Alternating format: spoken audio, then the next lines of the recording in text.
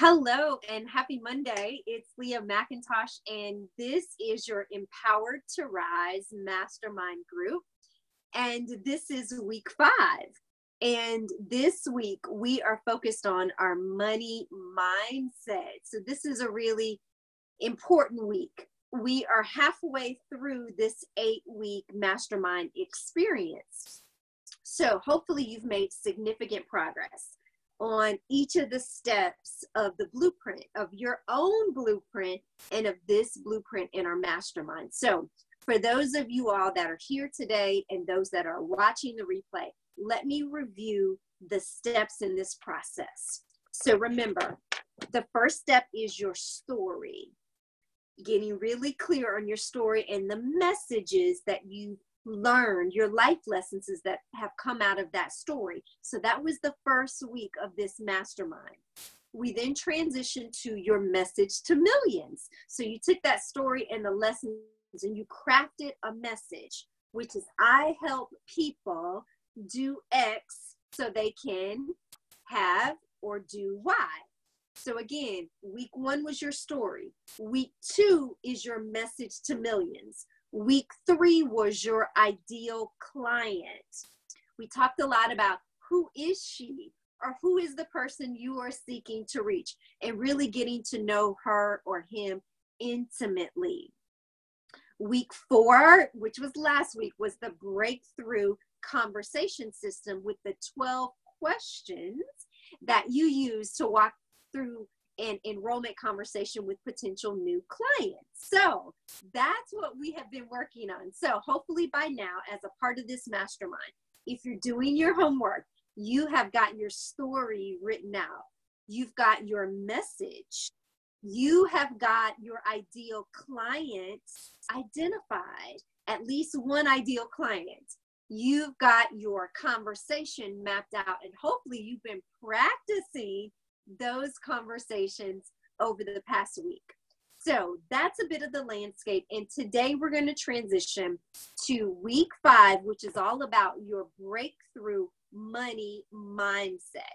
You should have gotten the worksheet on your email. So we're going to use that to walk through today. So if you do have the ability to grab that worksheet and have it in front of you or on your iPad, go ahead and do that now.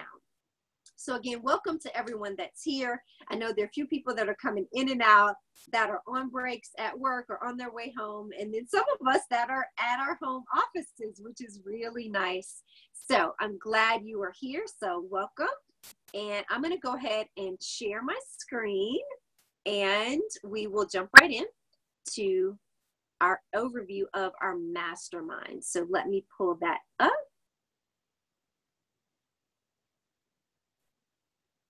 Okay, so this is our Empowered to Rise Mastermind. You should see that on the screen. And you can see the wonderful group of ladies that were at one of our gatherings last year. We're having our next gathering on July 28th. So I hope all of you all will be there for our superstar speaker training. It'll be at the same location. So, with that, our motto for our mastermind, let's read this together wherever you are. In this room is the power to change the world. In me is the power to change the world. If I'm going to change the world, I need a world of change in me. Change comes naturally, but it can also come intentionally through the power of goal setting and community. I can achieve anything I put my mind to. Everything is possible to the extent I believe it is. I want to dream wide awake as much as I do asleep. And through focused action, we can do it 30 days at a time. And that's what this mastermind is all about. And we should say seven days at a time for this mastermind because we are meeting weekly, and this is week number five. So, again, a mastermind, coordination of knowledge and effort of two or more people who work toward a definite purpose in the spirit of harmony. That's how Napoleon Hill captures it. What is special about a mastermind is we are learning from each other and we are growing towards the definite purpose of our life's work. Jack Boland says it this way we are providing mutual support and encouragement and to believe for each other things which each alone may find difficult to conceive and believe for him or her herself. So that's the power of a mastermind. So the purpose of this mastermind and my life's work is to create more ease and grace in the lives of leaders just like you as you pursue your life's work. The vision, this is how we're going to know it's actually happening, is your success is flowing without stress, struggle, suffering, or solitude, where every person has a team. This is our team for community coaching and accountability. And our mission, the collective mission that we're all working towards, is to build a business with the income and impact that you desire. My role as your coach is to help remove all excuses, escape routes, limiting beliefs, constraints, fears, doubts, worries, resistance, so you can be who you're meant to be. So, on these weekly calls, we're celebrate, evaluate, teaching, and coaching, and then we'll knock down those first dominoes. So, that is our blueprint that we're following each week as we come together. So, with that, I'm going to come back to our group and let's celebrate what you've experienced or happened over the last week since our last call. So I'm going to open it up. We've got Aisha and Gina that's here. So go ahead and jump in. Welcome. So who wants I'll to start. go first? Go I'll start. This is Aisha. Um, I wanted to celebrate that last week. Um, I made two new contacts.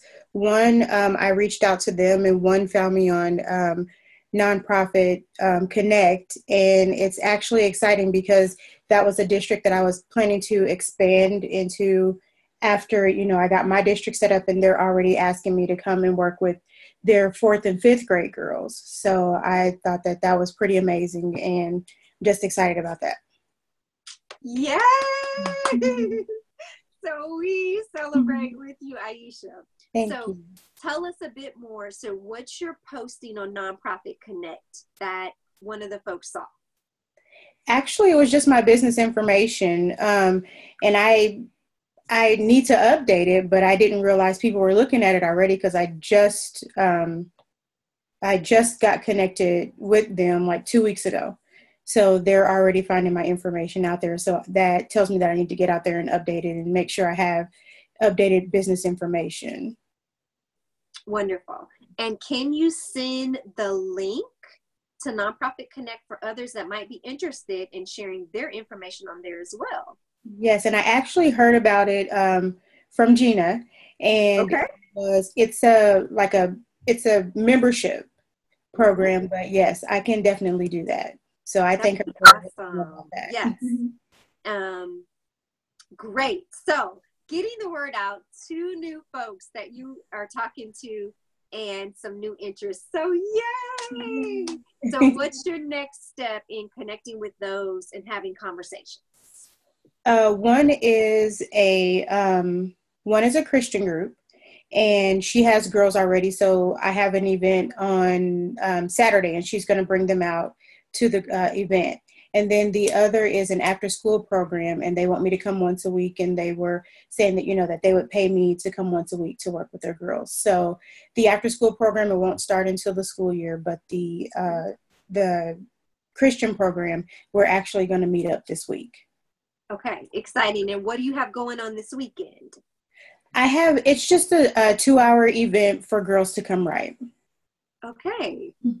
so I'm just kind of testing the waters and seeing, you know, how many girls I could get to come on a Saturday and if I want to expand those hours or if I want to just keep it as an after school program. Okay. Excellent. So some experimentation happening. Yes. That's exciting. That's really wonderful. And that's how we learn. It's just by trying it and seeing what might happen. And yes. one thing leads to the next. So Great job, Aisha. Thank you. Yay. And Gina, how about you? Are you, can you hear me all right? Yeah, we can hear you. Okay. Um, well, I'm glad you made that connection, Aisha. I think that'll be a nice resource. Um, okay, I had several things because I've had a really good week, and I'll make them brief.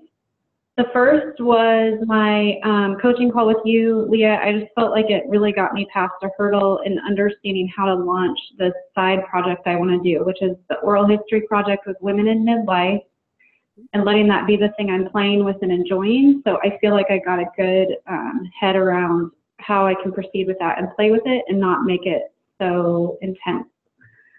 Um, and because and because kind of gave me that direction, I, was, I feel like I was re- able to reapply myself to the business that I'm currently making money in, which is my nonprofit consulting.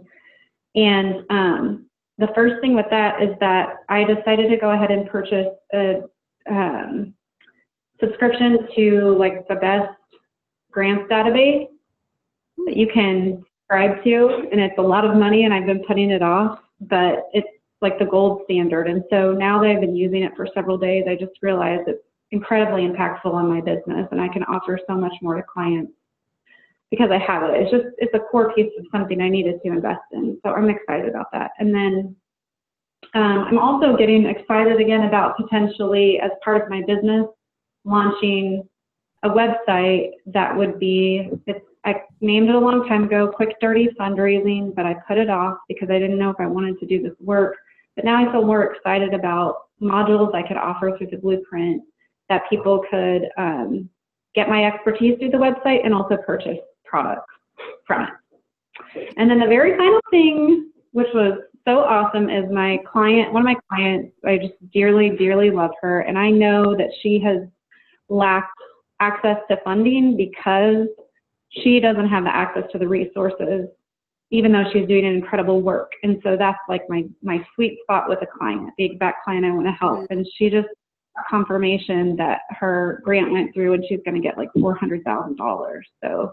Wow. Uh, my husband is working with her too in his business, so he did a lot of like the help and pushing it through. But we're just really, really, really excited for her. That's all. that is huge. Wow, how exciting. Yay. We celebrate with you, Gina. Those are amazing accomplishments over the last week. And it reminds me that sometimes we don't see the fruit of the labor until later. And you're actually seeing those outcomes now. Yes and that is super exciting. And you are courageous and moving forward and investing in yourself and your business. And that's a recipe for success. Thank you very much. Yay! so we're doing the happy dance. We're clapping. So wonderful. Um, and gina one question for you. As you got clarity about your oral history project. You said, I'm now able, you're able to focus on your for profit business because you have more clarity about that passion project. So speak to that again, because there are a lot of people who are in between. He's still kind of doing a base business, a nine to five, but really got this passion project on the side. So how do you balance those two? So for people that don't know, my business is really my job. I just it's it's like if I were employed and was sitting and doing a job every day while I waited on doing my passion project, that's this. I'm not my day to day when I do fundraising is not the thing that I'm fully passionate about. So how I've sort of transitioned that is getting really particular about the clients I want to serve to create that passion. Like I want to serve people like Aisha and I want to serve people like Deborah that I just got the big grant for.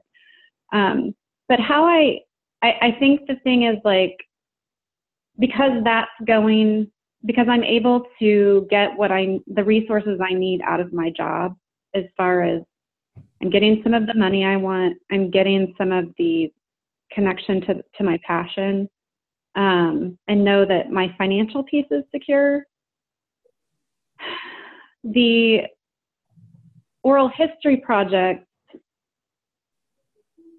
I don't, I mean, I just, I just think that the oral history project is something that I recognize.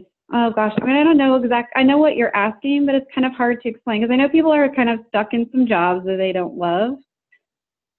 But I, I, I guess I would say I've taken care of my basic needs first.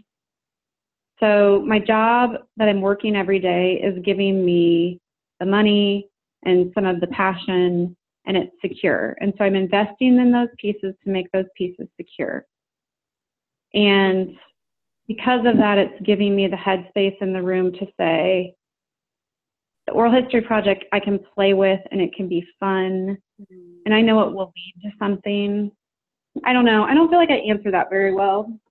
But, and you did. You said one of the key phrases, you said, I have the headspace to play around with the project because you've got your financial base secure. And that's yeah. really honest to say, in the meantime, so in this in between time, before the passion project is something you dedicate yourself fully to, if it ever becomes that, you have a financial base that meets your needs, that allows you to invest in some of your projects you just want to play with. Right. And that's a good thing. So I want to tell everybody it is okay to work a nine to five, have a job. It is okay if that works for you to be able to fund some of the other things you want to do. And when we all get to that place where we have to make a change, we'll know from the inside that it's time to shift and focus in one direction or another. But it is okay. So, uh, thank you, Gina, for sharing your experience and your passion. And Aisha, we celebrate with you both this week. Amazing progress. And for all of those that are watching the video, please share with us your progress that you're making so that we can celebrate with you as well. One of the things I'll celebrate is I um, signed up a new coaching client over the last week. And what was interesting about this is it's a woman and she's from Maryland and she connected with me on Instagram. So um, I started trying out some new marketing on Instagram, connected with her. She was looking for a coach, and we just connected pretty quickly. And we're going to be working on building her business. So she's going to be a one on one coaching client, and uh, hopefully she'll get um, involved in one of our groups as well and get to know the rest of our mastermind that we're growing. So I'm excited about that and she is an artist. So she does photography and she paints and she writes. So she's really creative, like a lot of the group here. So I'm looking forward to learning with her as well. So thank you. And today uh, is about our money mindset. So we're going to jump into that topic and we're going to talk through. So if you've got something to write with, we're going to be doing some of the exercises and talking about money. So I'm going to share my screen and I'm going to share the worksheet that I sent out earlier today. And we'll just walk through that together. Module five, how to develop your breakthrough money mindset. So I'm going to read through a bit of this and hit some of the highlights, and then we're going to stop along the way and just talk about your money mindset. So the purpose of this worksheet that everyone should have in their inbox is so you can break through any of the limiting beliefs that you might have about money and create the thriving business that you're craving. So, to have a successful business monetarily, it all starts with your money. And I want to say that really clearly because sometimes we skirt around the topic of money in other words, here's a really simple way to understand it how you view money, what you think about money, our opinions of wealthy people, and our overall relationship with money impacts our ability to thrive financially.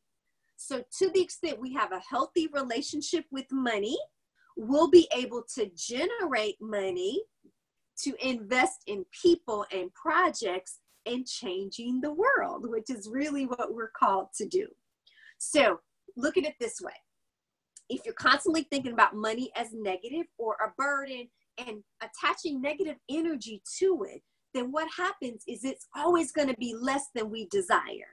So we want to look at the thoughts that we're having about money, whether we say it or not, those thoughts are in our head. One of the books um, that helps us with our money mindset is called How Rich People Think by Steve Siebold. And this quote really captured um, an important point for me. your current financial status will give you an idea of your past thinking. Wow. That just made me stop in my tracks. Your current financial status will give you an idea of your past thinking because we're creating this as we go. So if we're unhappy, if you're unhappy with your bank account, whatever it is, there's probably something that's been holding you back from making the money you desire. Now, um, and I'll share a bit of my test, my personal testimony about money, but it is so true. If I look at where I'm at today financially, it is a reflection of how I thought about money over the past several years and what really held me back from soaring. And so, as I've been able to break through some of those mindsets, I'm able to gain new clients, reach new markets, have new thoughts. And sometimes we think, oh, we don't have an issue with money. But trust me, we can all continue to uncover the ways we think about money so we can hit the next financial milestone. Because for some of us, we're trying to get to a $1,000 a month in our business. But imagine what it takes to get to 10,000 a month and $50,000 a month and well beyond that. Our money mindset has got to transform at, to go to the next level of our results. So that's what this is about opening up our eyes to see in a new way. So, um, let me tell you a bit about my money beliefs. So, I grew up with a father who was an entrepreneur and he was an attorney, but he never liked working for other people. He always wanted to work for himself.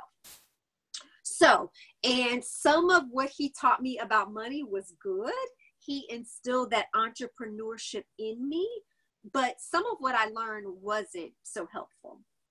I also learned by watching TV, like the Huxtables. Maybe you you watched that in the 80s and 90s, and I thought, wow, black people that were successful either had to be doctors or lawyers or some profession like that. But the reality is, when I looked around my neighborhood, most of my friends' parents were going to work, coming home, and living a pretty basic and boring life.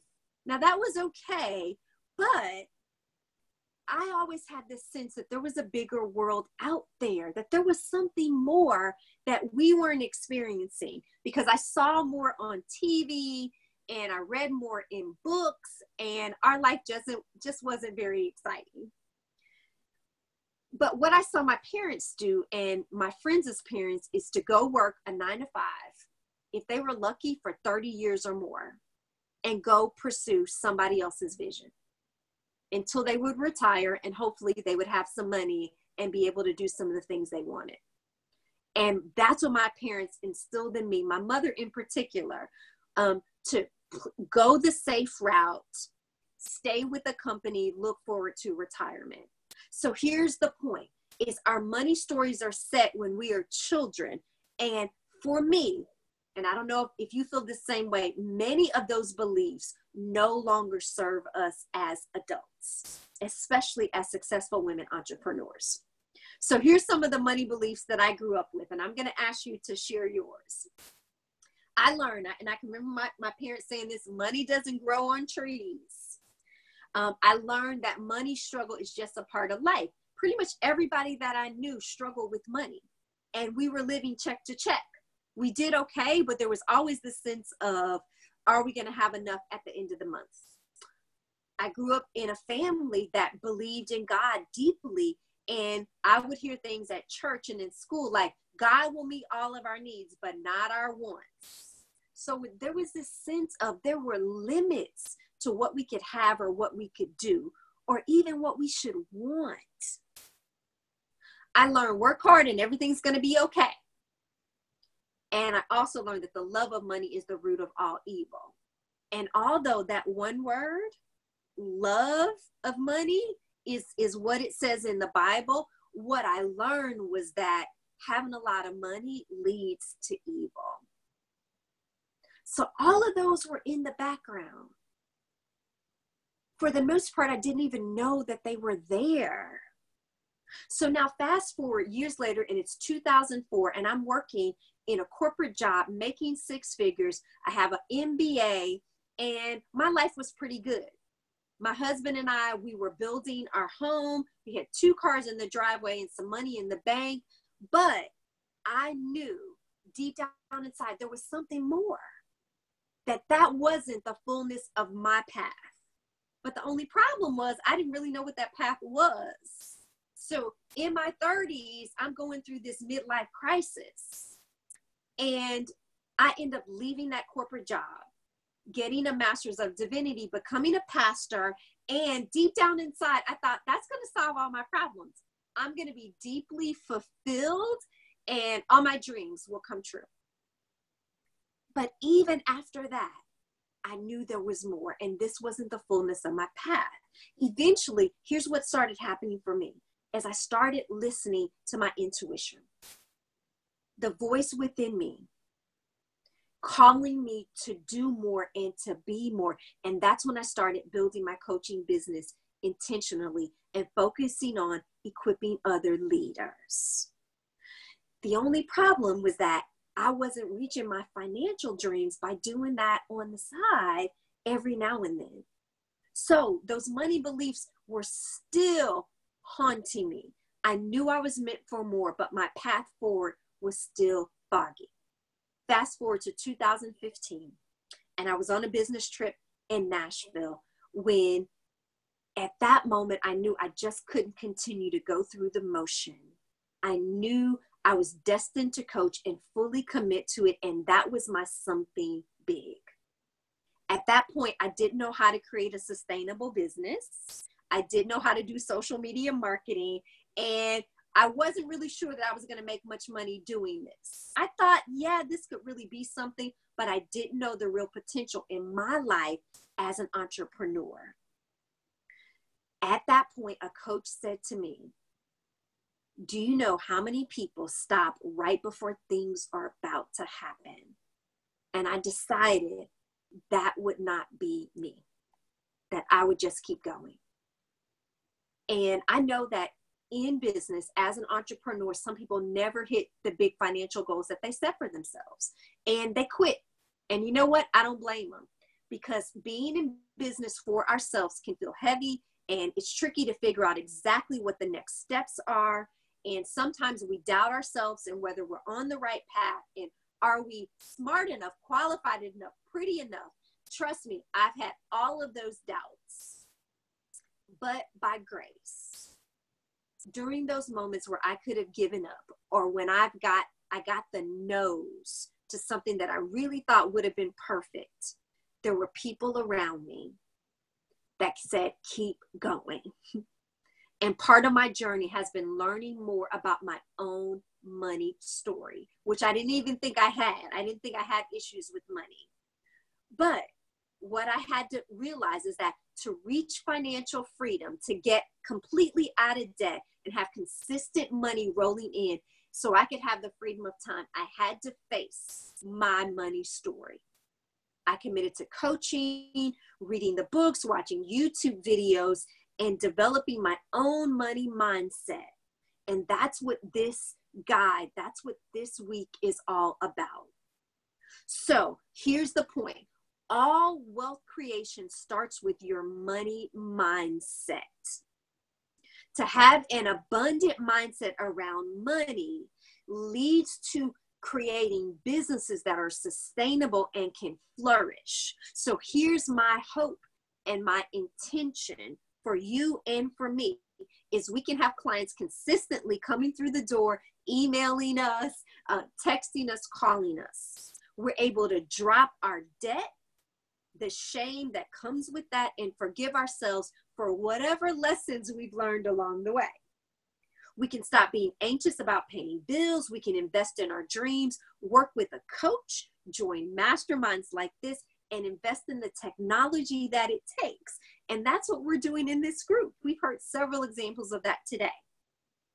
I also want you to have the confidence to put yourself out there and have a greater impact on the world than we ever thought was possible. You can have the life that you want, full of travel and freedom and joy and whatever it is you're dreaming about. is possible. So, here's the steps that we're going to go through. So, and as you can see, as I was working on this worksheet today, I kept going back about the steps. So, we're going to go through, it's actually about five steps.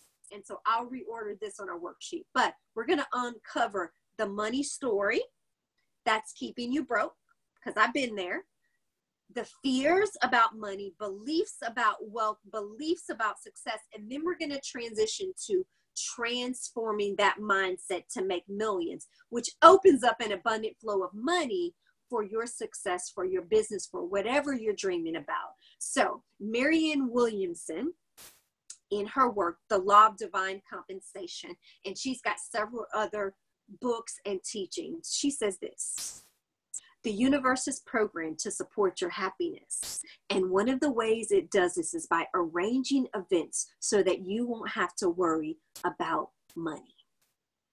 So, why is that statement so important? Because you have more important things to do. And this becomes our motivation for making money. It's not just to have it, but it's so we don't have to think about it and it simply is a tool that's working without us having to put so much effort in to better all the things in your life in the world that you desire. So that's what this is about. So let's start with step one. Part one is your money story. I told you a bit about mine in your money story, but let me give you another analogy.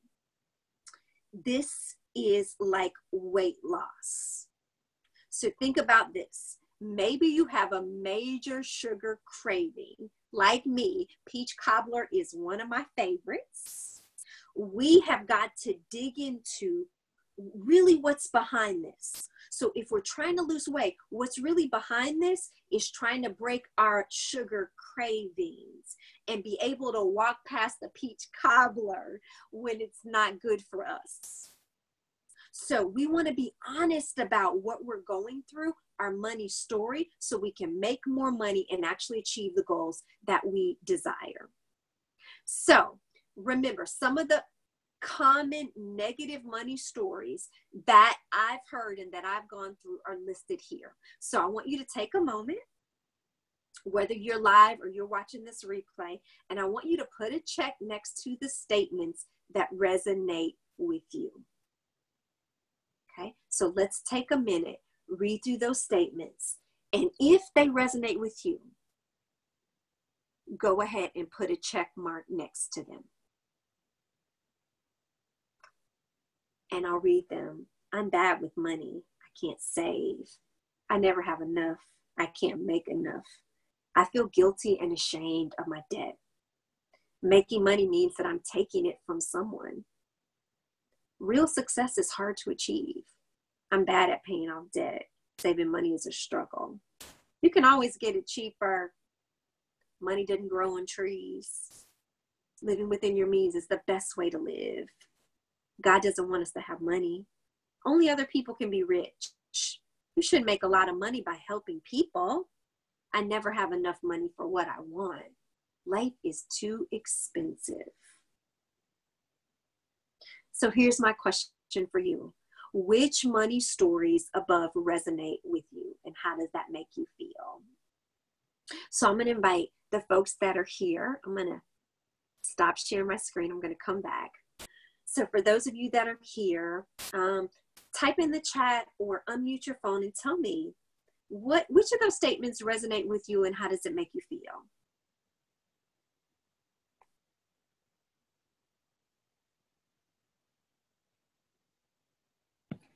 I think uh, this is Aisha. Sorry. Yes. I, I think the um, the one that really gets me, and I I think it all the time is, um, you shouldn't make a lot of money by helping people. And I guess, you know, that's. It's not that I truly believe that. It's just that I guess I only think that about me. I don't know why.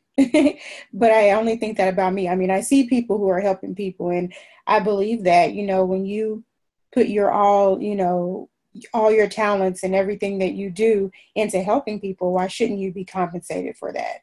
And it's mm-hmm. just, I think that's just a mentality that, you know, I don't know where it came from. Um, I mean, I guess it could be a family thing um, because my family was very helpful to each other. You know, everyone, if somebody didn't have something, you know, you can always depend on an aunt or uncle or my grandparents. So maybe that was something that, you know, was um, ingrained in me in that way. And I'm a dreamer. I believe that, you know, it's possible to have success, but I don't know where that came from. Hmm. Okay. Thank you, Aisha. Mm-hmm. And part of uncovering this money story is discovering where it came from. And as you start working through the worksheet, one of the questions that comes a little bit after this says, What did you learn about money from watching your mother and father or grandparents or siblings? Mm-hmm. And as we start to make those connections, it triggers a memory, and we think, Aha, mm-hmm. that's mm-hmm. where I heard that. Mm-hmm. mm-hmm. Now I remember. And now I understand why I feel guilty charging for the benefits that I'm offering to other people. Because mm-hmm. mm-hmm. it's really common for us as women, especially we've got a nonprofit. Mm-hmm. Inherent in a nonprofit for most of us is we can't make a lot of money. Like mm-hmm. we're, we're not in this to make money. So we we get a nonprofit because we're not in it to make money, but then we mm-hmm. need revenue to invest back into it for it to grow to impact people, which is what a nonprofit is all about. Right. So, thank you. so what and so as you um, work with that today, let's keep thinking about that one statement and how we're going to remake that that thought in that statement. Okay. okay? So, Jean, if you're able to share, which of those money stories stuck out for you and how does it make you feel? Probably all of them except maybe two. so, um, I, I could have substituted my parents and myself right into your story. Lia is like exactly the same. And, um, but I think the ones that have been the ones I had to tackle the hardest and starting my own thing and also being a nonprofit for a dozen years are the ones around if I make money, I'm taking it from someone else, like Aisha said, and also the one about God doesn't want us to have money, even though even though I'm not religious, um, I definitely grew up in a religious household, and um, so those those have been the hardest. When my husband and I went through the recession, we lost everything. That was probably my biggest fear, and I had to go through it anyway. so a lot of my money mindset has changed just out of necessity because I recognize I can be as careful as I want. It doesn't guarantee anything. Mm. Um, but I still have that. It's still that scarcity mindset is hard to overcome, and um, you know, what Aisha said resonated with me, and what I've tried to tell people as I'm coaching them is you should demand what you're worth, even in nonprofit, because nonprofit is like the poster child for the scarcity mindset.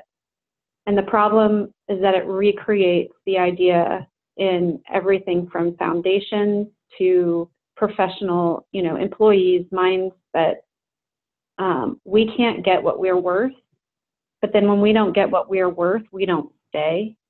And when we don't stay, nonprofit organizations collapse. So nonprofit is really an unhealthy industry. Mm-hmm. And so I can see evidence all along the chain where that mindset is damaging from individual all the way into my profession. And it just, it has, you can't you can't you getting past that is absolutely necessary and i love all this so this is my bumper sticker logic because i literally saw it on a bumper sticker but i love it is um, how to make or make a living not a killing hmm. and okay i think it's totally okay if you make a killing in your in your life but even just allowing ourselves to make a living mm-hmm. is hard because my living includes things like I want to travel and I want to be able to pay for my kids' school and I want to be able to not second guess the dollar aisle at Target. Like these are okay things. and what kind of living do I really need to experience life to the fullest? And we don't. I don't, you know, that's, that's a way new thought process for me. Beautiful. Well said. And um, Aisha posed a question. Um, we're asking people to invest in our business. And the question, I Aisha, you raised is aren't people who are in business the same? They're asking people to invest in their business. So, one just kind of shift in the way we're thinking about that. We're not investing people to invest in our business, whether we're for profit or nonprofit. We are inviting them to invest in themselves. And that's, for me, that was one of those big mindset shifts. Uh, when I invite people to the superstar speaker training, I'm not asking them to come for me. I'm not asking them to pay $99 to see me. I'm inviting them to invest in themselves. And and they are worth it. So as we make that shift, all of a sudden it opens up and, and you named it, Gina, an abundant pathway to make big ass of people, to make big investments in their in themselves and in their own dreams that they might never be able to do on their own. And the only way we can do that is if we're also living that life. So these mindsets and us working through them are so important because they'll they'll keep blocking our ability to help other people. So the very mission that we're trying to do, we're trying to help empower other people. If we're not living that way, it'll compromise our ability to do that work. And I also tell people often, um, let's say a workshop or coaching experience or technology, Gina, that you just invested in, if we won't make the investment in ourselves and our own business, we cannot ask other people to invest that themselves. We simply will not be able to do it with integrity over time. So it's like being a coach. I can't ask people, I can't invite them to have a coach, to have me as their coach, if I don't have a coach. So there's some some integrity in our the ways we think about money and the way we live our life and lead our business. That's really important. So thank you both for sharing. Um, let's go to part two. So I'm going to go back and share my screen again, and we're going to continue to look at these questions. So the next question that's before us. Okay. Let's go to part two. Part two is around fear about money. So I once had a coach say um, around, and this is around fear, that unless someone is about to break into your house or there's a tiger about to attack you, you're not allowed to be scared. And that really stuck with me because there are moments that I've been scared about making big investments in my business and in my life, especially around, you know, money and finances. And sometimes that stopped me. And and I also heard this phrase that says you can either be scared or be free. But we can't live in fear and freedom at the same time. It can't exist in the same space. I remember for me being scared that I would dishonor God if I focused too much on making money.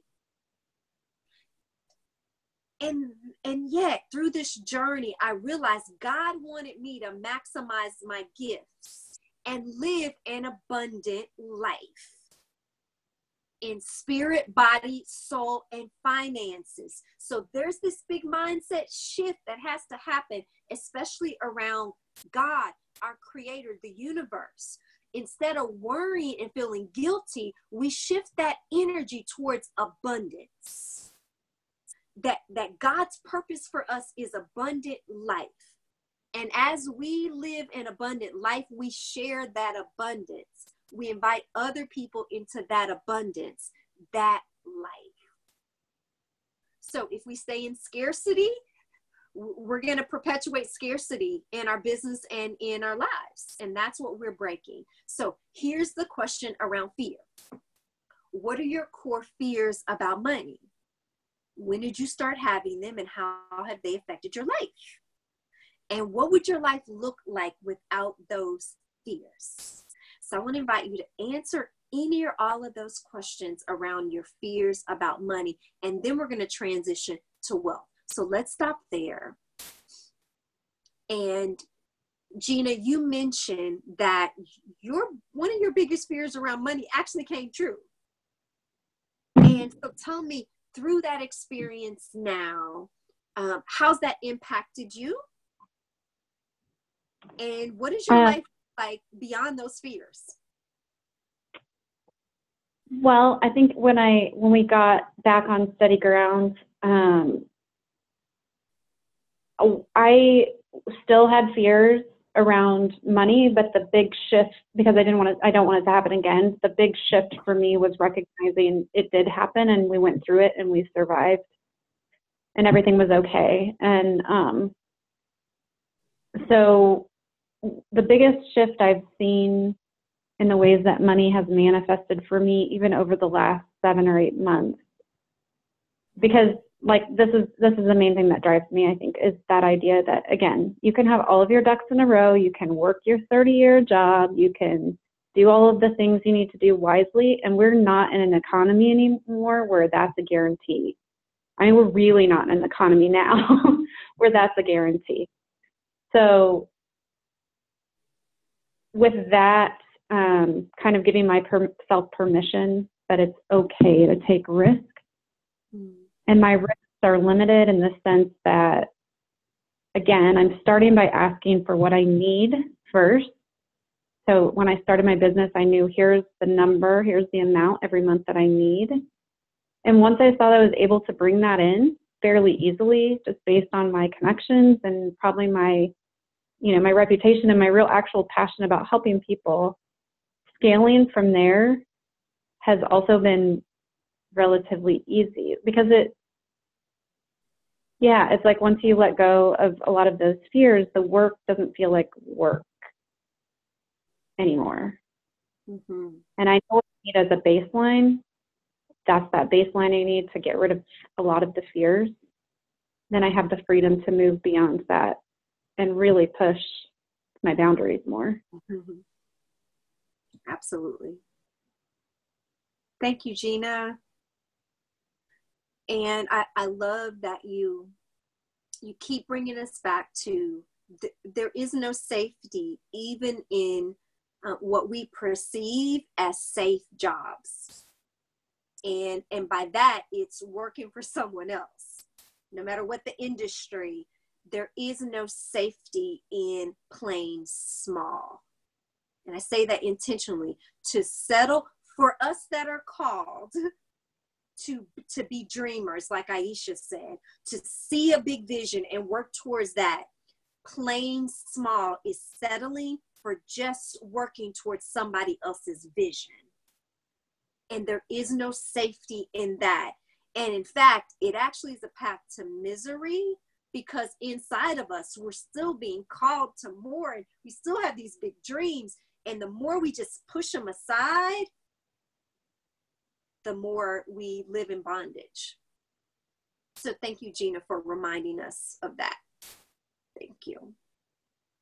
Aisha, what about you and fears about money? I think you all just said it. Um, I around March, I was, you know, I'm a teacher, so I was thinking that I wasn't going to return to the classroom. I was going to start working on, you know, my program full time. And it actually happened where my district was my they were planning to get rid of my position but my principals you know fought to keep me and the other person who were who was a reading teacher and i thought about that and thought about it and i i I know now I stayed because I was grateful, you know, that they thought well enough to fight for me. But, you know, even now, sometimes I think, you know, I was supposed to leave this year. But even now I can still see God lining things up to where, you know, next year, you know, I'll be working on these things full time. This is, I'll be working on Jewel. I'll be working on, you know, the Butterfly Literacy Group full time. So I can actually see those, you know, things that are lining up. Hmm. So my fear was, you know, if I left my job, you know, will we have the money to cover what we needed to? And I, I shouldn't have, I shouldn't have let that stop me. Mm-hmm. So I've, you know, I've signed my contract and I'm going to be committed and this is going to be my best year ever. but mm-hmm. I, I probably should have been going toward what I, what I know I was supposed to. And Aisha, I really appreciate you being transparent about that mm-hmm. because for all of us, there's this in between time where we're trying to discern do I go this way or do I go that way? And when do I let this thing completely go and go full fledged towards the other? And there's an in between time. Mm-hmm. And what I love about what you're doing is you're working towards your vision right now. Yes. So even though you're going to be teaching this year, you are working towards it has a different purpose now yes. than it did potentially before you fully committed yeah. to following this dream and impacting lives. Yeah. That's courageous. Thank you. Thank you. So let's take those money beliefs and even some of those fears and now let's look at our thoughts about wealth. So all of us, just like we learned about money in a negative sense, we also learned about wealth and, and have some perceptions around it. So let me share my screen. We're going to look at wealth and success and what we learned about that. And uh, the models of success and wealth that we encountered even as children impact us today. So here's um, what I want to challenge you to do and even think back a bit. But this week, as you hear about money, because now that we're talking about it, we're going to see stuff all around. As you experience life and you see TV or movies, here's what I'm going to predict you're going to see a money pattern. And what you're going to notice is that evil, selfish, manipulative characters are wealthy. And the poor person is often portrayed as humble or kind or oppressed in their circumstances. And it seems like, and I think there's something about our culture today, there's not much middle ground. Either it's you're super rich and you're selfish and you only care about yourself, or you're poor and you're stuck and there's nothing you can do about it. And maybe you're humble and kind, but you're stuck in your circumstances. So next week, I want to want you all to share with me what you found. And here's why I think that matters to us right now is we aren't going to make more money if we believe making money is wrong or there are limits to how much we should make. So we need to really look into our core beliefs about wealthy people and even success. So my question is, what do you believe about people with a lot of money and where did that come from? So also let's apply that to ourselves and our belief about success. So regardless of whether you plan to start a business when you were young, and some of us were entrepreneurs, you know, with businesses even when we were in grade school, or you're that accidental entrepreneur, we all have some deep beliefs about success. Again, that probably were seeded when we were young. And those beliefs we have got to acknowledge and bring to the surface if they aren't serving us so that we can hit our financial milestones and impact people's lives in our own life. So, likewise, here's the question for us What do you believe about your ability to be wealthy? In your potential to earn as much money as you want and what you believe about serving others and money. So let me put those questions out there. The first is what do you believe about people who have a lot of money? And then, secondly, what do you believe about yourself and your ability to be wealthy? So let's use our chat for this one. I'm going to invite you, if you're able, to go ahead and type in the chat. What do you believe about people with a lot of money? And then what do you believe about yourself? So take a moment and answer those questions.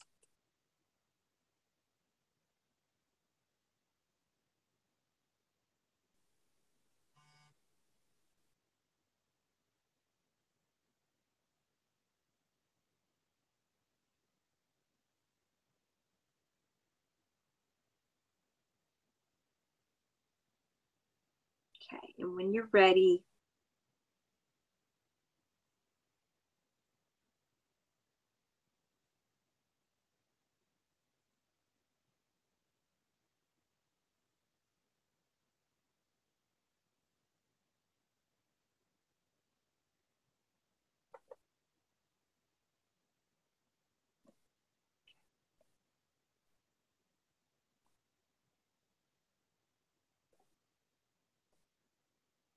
Okay, so Gina shares, um, I have a negative reaction to people with a lot of money. The way we talk about people like that in my family social circle is yes, they're wealthy, but they are the nice ones, as if there has to be a clarifier, because naturally people with money are greedy and out of touch. Thank you. Aisha writes, I think that people who have a lot of money are blessed and that they can enjoy a certain type of lifestyle. So look at that and the spectrum of what we think about people with money. It's all over the board.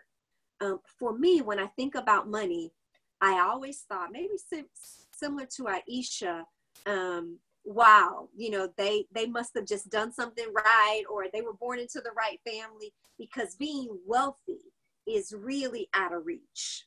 It's the exception, not what most of us can achieve. And I'm just the average girl from St. Louis that just tried to do the right things. And I always wonder, am I included? Could I actually be wealthy? That was part of my money mindset.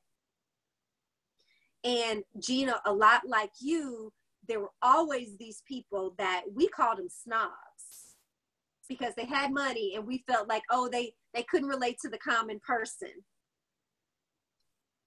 Aisha shares you always wanted to be wealthy but doubted if it was possible. Absolutely. I can identify with that. And once we start to uncover these mindsets and we can say wait a minute. One of the things we realize if it's, it's possible for that person then why not me if we have a God of abundance, then why not us? Why would we limit the blessings that we believe are really possible for us? Why would we do that? But that's what it's all about in uncovering these money mindsets. So now let's look at that second question that second question was about what do we believe about ourselves now, about our ability to be wealthy? So, do you believe that you deserve and are able to be wealthy? And we're defining wealthy in this sense that you're living an abundant life. We have more than enough to share with others and to bless the world and to invest back in our businesses and our family? Do you believe that you deserve it and it's possible and it will be? Thank you, Aisha. You said, I will be. I will be wealthy. Absolutely. And here's how I also want us to reframe this about wealth is I am wealthy and it's just growing and it's just expanding. So we walk around knowing I am wealthy, I live an abundant life, and it's just going to continue to grow so we can impact more lives, do more good work in the world, and just see it keep expanding. That's an abundant life. That's a wealthy life. Okay, so thank you for sharing. And okay, Let's keep going. Let's go back to our worksheet. We've got a few more pieces that we want to get to for today. Okay. So we've talked about our money story, fears, wealth, success, and now let's talk about how we transform any of those mindsets that we want to move beyond. So imagine we're making the shift towards a breakthrough money mindset. Imagine for you being able to take the trips you've been dreaming of now instead of waiting to make more money, paying off debt and student loans, selling out your live events and your group coaching programs, celebrating five figure income months and beyond, having the freedom to spend more time with your family, leaving your nine to five and creating wealth for your dreams, not someone else's. Being able to hire a team to do so to do for you so you can focus on what truly lights up lights you up in your business. That's what living this wealthy abundant life is about and it is possible. So, let's transform our money mindset. So, here's my invitation and we're going to just take one or two examples given our time. So I want you to write down, instead of five, take a couple of your top or most powerful negative money beliefs you currently possess, and you write them below. And then we're going to literally flip the switch and change that statement. So here's an example wanting money means I'm greedy. We remake that to mean or to say wanting money means I'm normal and fabulous. So it is okay to have the desire for money because of the outcomes it helps us achieve. Imagine the statement, life is too expensive. We remake that to say, I always have enough money for all of my desires and the life I wanted. So now's your turn. I'm going to invite you to type in the chat what your statement is and then remake that statement.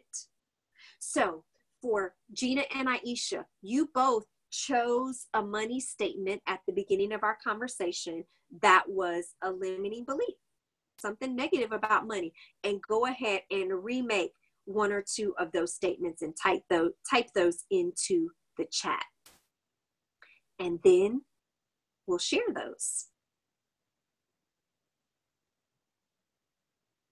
So Gina shares, we can't do that because we don't have the money.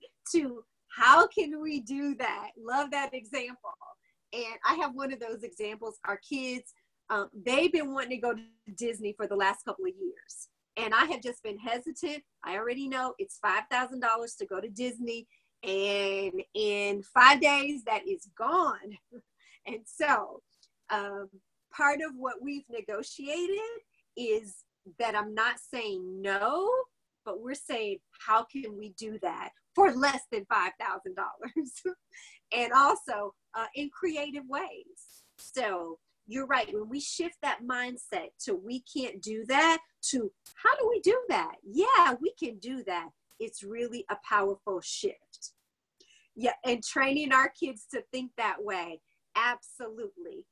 Um, and it's really empowering to not tell ourselves no. It's, yeah, how can we make that happen?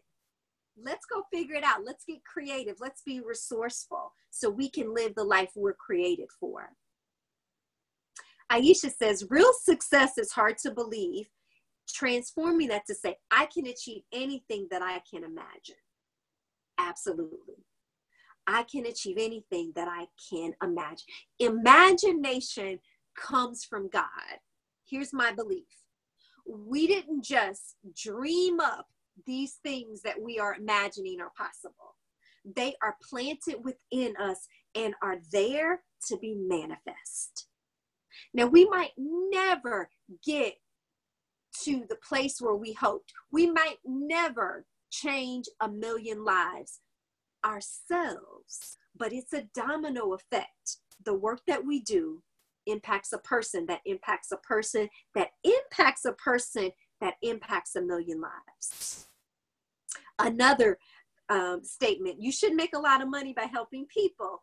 Two, my talent is priceless. It will produce more talented people. And that is worthy to be invested in, Aisha. It is priceless. Gina says, I love that. I do too. that is amazing. So, see what's happening is we're acknowledging our money mindsets and our limiting beliefs, and we are remaking it. We are claiming an abundant, wealthy, successful mindset. And this is how we lean into wildly successful businesses. So, back at our worksheet, great work. How did that feel? Um, I hope it's feeling empowering. And I hope that it becomes normal, that we begin to take a limiting belief and affirm a positive belief so that we no longer believe even if it's a thought, we don't have to believe it. We can cast it down and replace it. We can flip the switch immediately when those fears or negative thoughts begin to come up. You have a choice. You can learn to transform your thoughts about money instead of getting sucked into the drama of limiting thoughts. So, here's an example. When those limiting beliefs come up, we can say, hmm, isn't that interesting that this belief about me not being able to make money keeps coming up? Where's that coming from? So we can step outside of ourselves and say, okay, that thought came up. Let me identify it and let me flip it. So here are a couple other strategies that have helped me. And this is a journey for all of us, but money mantras and picking a phrase that resonates with you is a way to keep affirming this. So you created some new beliefs, even in what you just shared, and these are a few more that we want to go around affirming to ourselves. I always have enough money for all of my desires. We can we can figure this out. I'm created for an abundant life. Making money is easy. It doesn't have to be hard. I grew up with the limiting beliefs that you had to work, work, work really, really hard to make money. And I choose to believe now because I know it to be true. Making money is easy when we get into a flow of sharing our gifts with the world and inviting people to do the same. I'm wealthy. I see myself with seven figures of income, over a million dollars to meet those needs and to share. I am rich. Abundance is my natural state. Money flows easily to me. I feel good about money and deserve it in my life. These are the mantras that we want to keep telling ourselves. Every day is a wealthy day it's safe for me to have money and I choose wealth and abundance. Take a post it note and post these around the house or on your mirror or in your planner. Make an audio recording of these phrases. Journal and write the mantras down 20 times a day, over and over again. Set an alarm on your phone to remind you to repeat that phrase and pray over it. One of the other ways to get this mindset seeped into us is to pay attention to the words we're using. And if the words evoke a negative feeling, we want to remake them. So, expensive and debt and budget and that costs too much and don't waste money, all of those we can replace. And an example is I try to use the word investment, especially when I'm inviting people into a coaching relationship. I never say it costs this much. I invite people to make an investment in themselves. And what that does for me is it not only um, hopefully helps the person I'm talking to think about investing in a different way than they might have thought about but it also reinforces for me and empowers me because I also keep investing in myself. So, what words will you replace starting today? I want to invite you to type that in the chat.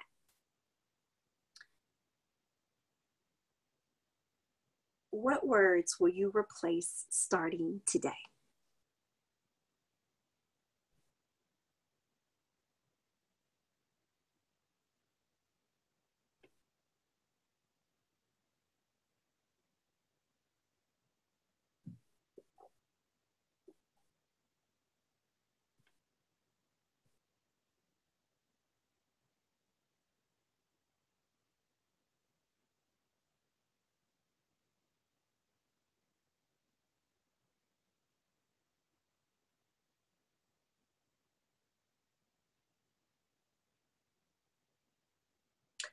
Replacing expensive with valuable. Ooh, I love that.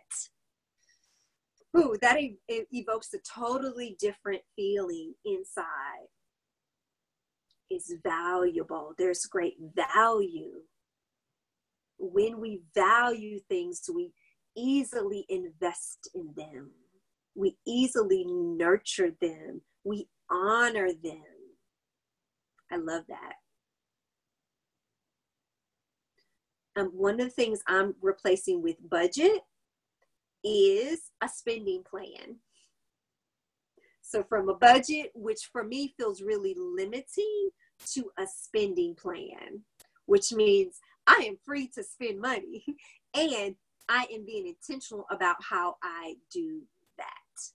So, keep thinking of the words that you want to replace. A spending plan. Wonderful. So let's keep moving forward. And there are just a couple of more sheets in our workbook today. And our financial abundance plan. So this will be your homework for next week is to take this financial abundance plan and you want to identify where you are today in your income, where you want to be in 6 months and where you'll be in 12 months. So you're setting an intention. So today, if you're making $100, six months, you might want to be at 500, 12 months, you might want to be at 5,000. So go ahead and set those intentions. That's the income. You want to identify where you're at on expenses. As a result, what your profit is. So notice we don't just want to make money, we want to make profit. So we want to be aware of what it's costing us to do business. And sometimes we fail to acknowledge all of the costs because if you're like me, I will purchase a book and not track it as an expense for my business. And then it becomes tax time. And I realize, oh, yeah, that was a business expense. So I want to be mindful for my business of what what I'm making, what I'm spending, and what my profit actually is. And you've heard it said, not all good, uh, not all business is good business. That means some business just isn't worth it because it's not as profitable as we would like it. The other measures I want to suggest is the number of subscribers on your email list. We get to build a relationship with people, and having their email and being able to communicate with them is really important. And in the world of online business, your most valuable capital are your subscribers to your email list and the relationship we build with them. Okay, so that's one of the things that I'm working on. I want to invite you to set goals as well.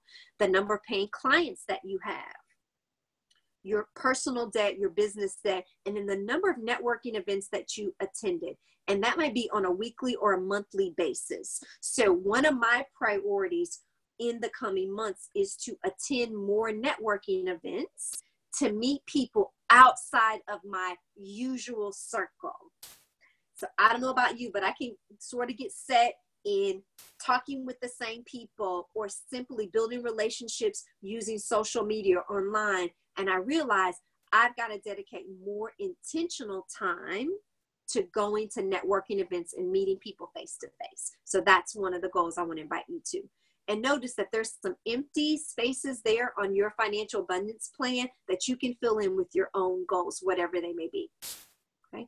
And here's the second tool it's your profit pipeline. So I shared this a couple of weeks ago, but I reformatted it to make it a bit easier for you to fill out So, what we want to start thinking about, and we'll get into this in the coming weeks, is you have a pipeline or a funnel, is another way to think about it. And imagine you're looking for the ways that you're going to meet new people, build relationships, and invite them to be a client of yours or to come to a program.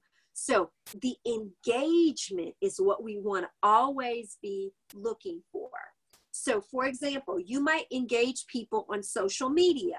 So, you might be engaging with a certain number of people. That price is zero and the revenue is zero, but that's okay because you are engaging new people. Some of the other ways you can make profit is through live events. So you want to set a goal of the number of people you want to engage at your event. What that price or investment, that's a better word, right? An investment that they will make in that event and what your revenue will be. Again, remember, you you want your profit pipeline to add up to the revenue goal that you set your profit goal in your financial abundance plan so if that is six figures it's a hundred thousand dollars or two hundred thousand dollars you want to have a plan in this profit pipeline to deliver that revenue goal that profit goal that you set so here's a mixture live events, your books, group coaching programs, one to one coaching, speaking event, consulting clients, whatever that is, name it, identify the income that comes from the investment people will make in that and what your revenue will be. So if you haven't already done that profit pipeline, I want to invite everyone to do that this week. So again, this is about setting intentions about what we want to create, how we want to maximize the money that's going to keep flowing and the lives that we get to impact. So, my question for you as we end today is what's your first domino? What's your the easiest next step you can take to put your breakthrough money mindset in motion? in motion. And for me, what I realized going through the preparation of this worksheet is that my next steps for this week is to go and redo my financial abundance plan and my profit pipeline. I did those at the beginning of the year, but we're mid year now, and it's time for me to renew those and recommit and to see where I am and to make adjustments. So that's part of my commitment, my first domino uh, for this coming week. So, what about yours? And if you're watching this replay, I want to invite you to email me with your first domino and your commitments that you're making this week. So for Aisha and Gina, feel free to unmute yourself um, or type in the chat and let us know what your first domino is. And then we'll close out. Mine is really brief. I'm just going to go back and redo my pipeline also now that I've gotten a lot more clarity around my business this week. Excellent. Thank you, Gina.